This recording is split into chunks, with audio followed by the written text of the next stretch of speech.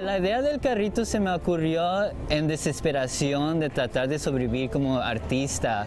Hace cuatro años, cuando me gradué de la universidad y estaba trabajando en un museo de arte aquí en el centro de Los Ángeles, en mi camino al trabajo miraba a gente vendiendo frutas, flores, gente inmigrante y se me ocurrió una vez ¿Por qué no yo me pongo a vender pinturas de fruta? Y si vendo 5 a 20 dólares, ahí hago 100 dólares y es lo que hacía en un día trabajando en la galería. Quien me ayudó a comprar el carrito fue un amigo que se llama Ángel, también es un artista, y me preguntó, pues, ¿qué necesitas? Y yo dije, pues, a comenzar dinero para comprar el carrito. Y me contestó, eso es lo único, yo te lo doy. Las pinturas que miran aquí comienzan a 49.99 y las que expongo en las galerías son muchas más caras y la razón para eso es para que gente con diferentes recursos puedan comprar mi arte original.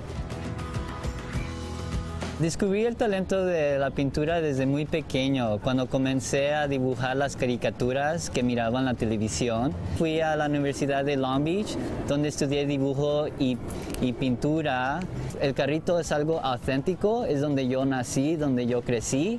Crecer en este de Los Ángeles fue, fue súper chido. Yo crecí viendo gente que, que venía de México y que viene por un deseo y que cualquier manera encuentran a sobrevivir y a mantener sus vidas aquí y ayudar a sus familias atrás. Las pinturas que más vendo son las pinturas que se tratan sobre la cultura mexicana, como las piñatas. Eh, las personas ah, se dirigen a esos porque es una memoria y también las que en donde me enfoco en cómo la gente latina se lucha para trabajar. Mi inspiración es mi madre. Ella tuvo la valentía de, venir de México y ser la primera en la familia de venir a México a los Estados Unidos. De ella he aprendido cómo soñar grande y no tener miedo a, a seguir mis sueños de ser artista hay muchas felicidades. Ahí está el secreto, ¿no? Yo creo que es atreverse. Finalmente toma, como nos explicabas, Chiqui, uno de los, eh, digamos, eh, carritos de las calles más emblemáticas, eh, como nos estabas explicando, de Los Ángeles y lo vuelves arte, lo vuelves la manera de comunicarte, lo vuelves la manera de expresar y lo vuelves la manera además de tener ahí una lanita. Nos, preguntábamos si vendía fruta en el carrito, pues no. ¿No? Simplemente la utiliza para poder pintar.